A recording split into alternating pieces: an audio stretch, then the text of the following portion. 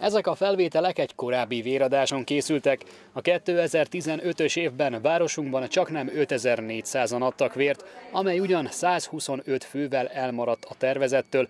Fett Katalina Vöröskereszt helyi vezetője hangsúlyozta, elégedett ezekkel a számokkal. Hozzátette, a véradásnak számos szervezetre gyakorolt jótékony hatása van. Arra nagyon nehezen vesszük rá magunkat, hogy időszakosan elmenjünk laborba, na most egy-egy ilyen véradás alkalmával ezt is pluszba kapjuk.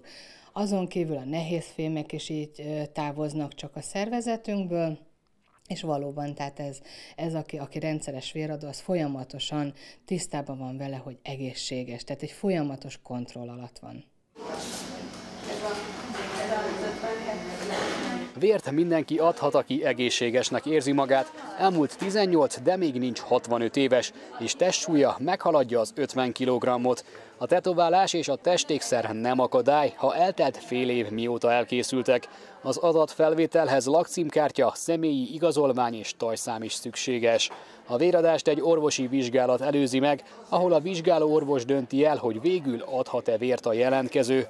Magyarországon a tavalyi évben 405 ezer egységnyi vért adtak a véradók, ami éppen csak fedezi a kórházak igényeit. Az egészségügy működése szempontjából a megnyugtató mennyiséghez 415 ezer egységnyi vér volna elegendő.